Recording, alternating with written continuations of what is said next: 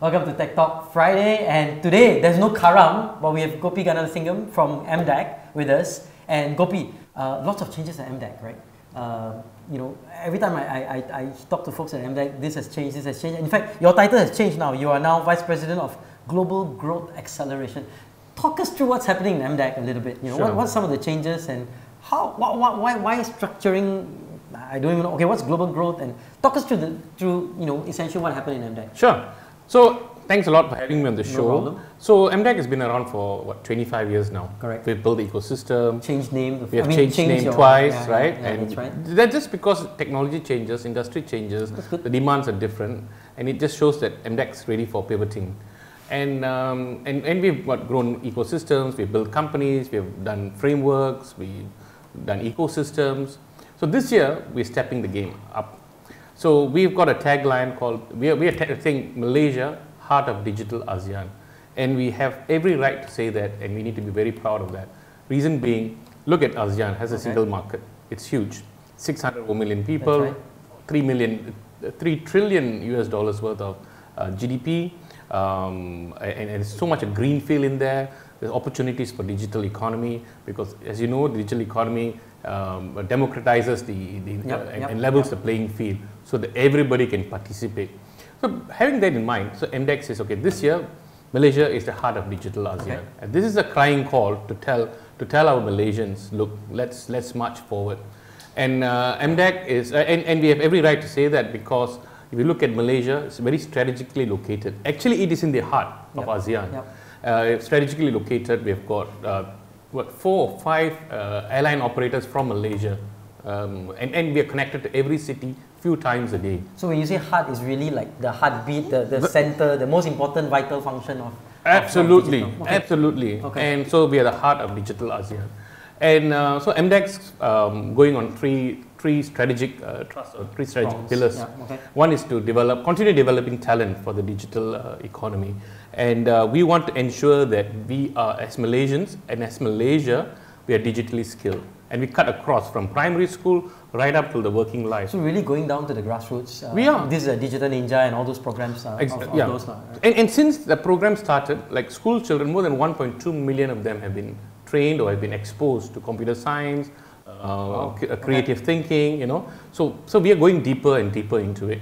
Uh, there was a crying call from the, from the companies uh, looking for talent, and Yep. that's one of the things that we have done a little differently this year. So um, MDEC is introducing Superstar 2020.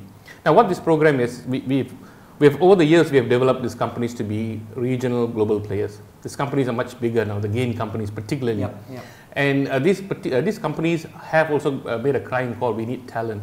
So what we have done this year and what we're going to do this year is um, we're taking the top 100 um, talent that's coming out of the universities, undergraduate, Mm-hmm. and, and we're taking this 100 top talent that we think that not just academically sm- smart, but also digitally smart. Digitally, okay. savvy, And yeah. we are partnering with uh, maybe 20 of the GAIN companies, and we're going to say this is a new program that that these 100 would be trained by the CXOs of each of the companies. That means the training is just not academic, But it's like a mentoring. a mentoring, partly mentoring. strategy, cash flow, you name it. So they are going to be directly under a CXO. So this is a program that we're rolling out in April, and we've got our GAIN companies excited about it.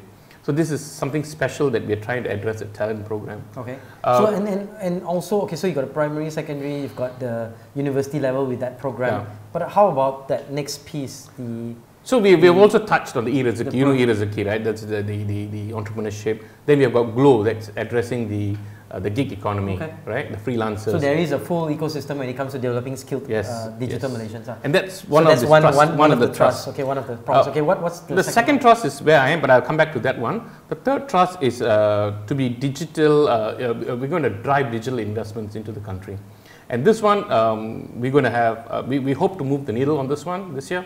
Uh, we hope to make some of the announcements of really um, thriving investments coming into. So when you say digital investments, means investments into Malaysian companies or really external companies bringing FDIs, technology? FDIs.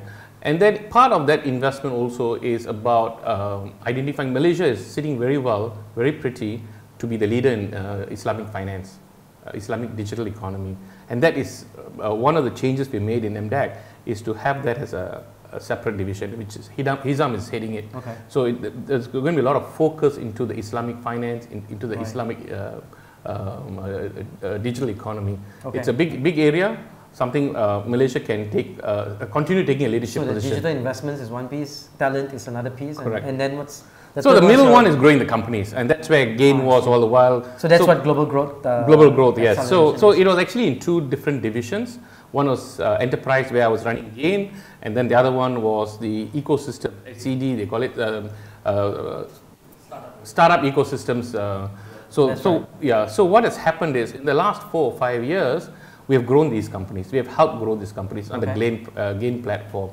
Just in the four years, we've got over 2,000 meetings, and we have generated with this 67 companies, the last four years, generated 1 billion US dollars worth of uh, Wow, exports. So, so quick question. Uh, we, we, we might be out of time soon, but you know, for a non-gain company, right? What's some of the things they can look forward to for MDEC for 2020 with this new structure? So, so the structure is to bring the both, both of it together. So it's under global growth acceleration. So we come into the digital hubs. That's where the talent is starting. We identify talent, and then we have got the MTEP Malaysian Tech Entrepreneur Pass, which is also about driving entrepreneurship talent. Then, uh, so the digital hubs are churning out all the startups. Then we're identifying which are these startups, working very closely with Magic, working very closely with Cradle, and then, and then now we're going to take some promising startups, and then we're going to partner them with the Gain ecosystem. Okay. And what we have found is some of these gain companies have got, uh, in fact, most of them have got the pay forward attitude, pay it forward. So they have been mentoring our startups. And now we want to make it official. We want to put them all on the same platform. Wow. Okay. So you have the startups coming through, you have the GAIN companies mentoring them, and, and, and, and, and some of them are beginning to invest in them. And what we are realizing is the startups are beginning to get their revenues faster now. Why? The GAIN company entrepreneurs are opening doors for them. Ah, okay. They are So go to market really is a- it's a beautiful ecosystem that is starting to be developed, you know, essentially by, by I mean, through the MDEC initiatives and so on and so forth. Yeah, so and that was the Nice. ra- rationale of bringing the whole thing together under global growth. So Okay. that is a focus as well. That means we need big companies, we need uh, global companies from Malaysia because, as you know, uh, global companies attract talent, global companies attract Yep. investment, Yep. global uh, companies uh, create jobs, Yep. high value jobs. So And that's part of the Absolutely. part of the engine that's going to drive the digital economy moving forward. Fantastic. We're out of time, but uh, it's been interesting. Maybe we can get you back to come back and dive deeper Sure. into this whole global growth initiative and, and, and what you know some of the specific initiatives. We've been speaking to Gopi. I'm here on Tech Talk. We'll catch you next Friday on Tech Talk Friday. Thanks for watching.